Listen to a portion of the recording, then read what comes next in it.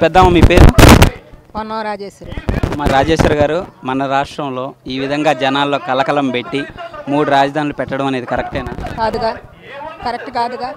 ఇంతమంది ప్రజలు ఇంతమంది మహిళలు ఈ రకంగా ఆక్షోచించి ఏడుస్తుంటే ఆయనకు చేయగలిగిద్దా ఏ భారత భారత రాజ్యాంగ సవరణలోనైనా రాష్ట్రానికి నాలుగు రాజధానులు ఎక్కడైనా ఉన్నాయా? చెప్పమని సీమని ఆ, చెప్పి పెట్టమను. భారత రాజ్యాంగంలో ఎక్కడ ఎక్కడైనా ఉన్నదా? చెప్పమను. చెప్పి సీమను విడ విడదీయమను అది నాకు కావాల్సింది అదొకటే ఈ ఒక్క రాజధాని వల్ల మన రాష్ట్రం అభివృద్ధి లేదంటున్నారు. మరి లేదుగా. ఏంటి ఏంటి ఏం చే- ఏం లేదు. ఏం చేశాడు ఆయన? ఒక కట్ట సిమెంట్ కట్ట పెట్టాడా? ఒక ఇటుక బిల్ల తెచ్చి పెట్టాడా? ఏం చేశాడని? ఏం చేశాడని ఎవరిని అడుగుతాడు? వచ్చి ఒక్కసారి మమ్మల్ని కలిశాడా? మాట్లాడాడా? ఇప్పుడు ఒక్కసారి సీఎం అయ్యాడు ఆరు నెలలు అయింది. వచ్చాడా? ఎక్కడికైనా వచ్చాడు? ఈ రోజు తొమ్మిది గ్రామాల్లో ఎక్కడ కనపడ్డాడు తను ఎవరు కనపడ్డాడు ఎవరితో మాట్లాడాడు ఆ ఎమ్మెల్యే ఏం చేస్తుంది మూడు రోజులు పెట్టి చేస్తున్నాం ఏం చేస్తుంది మరి? ఈ ప్రజలందరూ తనలాంటి ఆడవాళ్ళేగా?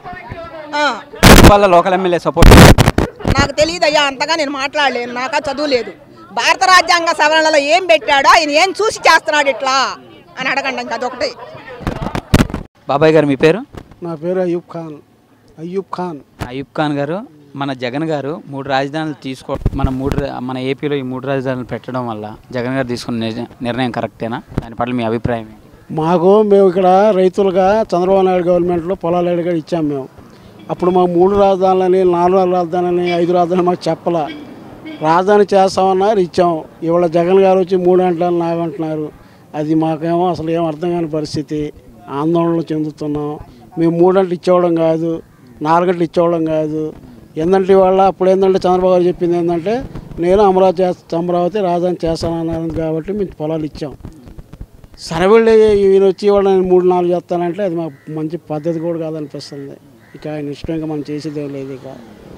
నిన్న పెద్దరెడ్డి గారు మూడు కాకపోతే ముప్పై పెడతామన్నారు. అవసరమైతే రైతుల స్థలాలు రైతులకు ఇచ్చేస్తామన్నారు.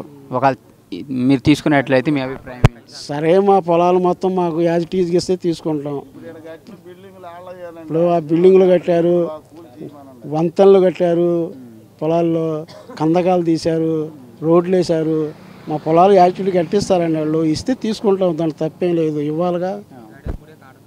ఇప్పుడు అవన్నీ బాగు చేసి ఇస్తే తీసుకుంటాం. తప్పేదేం లేదు ఇక.